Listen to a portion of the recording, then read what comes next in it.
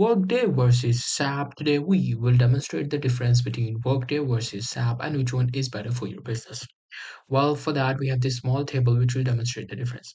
First things first, we will talk about the user interface. Workday has initiative and user-friendly interface while the SAP has complex but highly customizable user interface.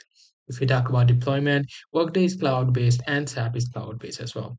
If we talk about the HR management, both of these provide comprehensive uh, HR management. And if we talk about the global global compliance, both of these provide global compliance. If you talk about the analytics, it gives you robust, the Workday gives you robust analytics while the SAP gives you advanced analytics. If you talk about the talent management, both of these have uh, integrated into it, and learning and development, both of these have provide you strong learning and development.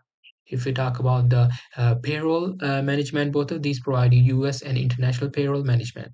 However, workforce plan, workforce planning is available on both. If we talk about visa and permit management, yes, it is provided in SAP. However, it is not provided in Workday. If we talk about the cost, the Workday is typically higher in cost, while the uh, SAP totally depends upon whatever the type of plan that you are buying, and it is varying on that. If we talk about scalability, both of these are highly scalable. So that's pretty much it. That was the details. Hope you guys find this video helpful.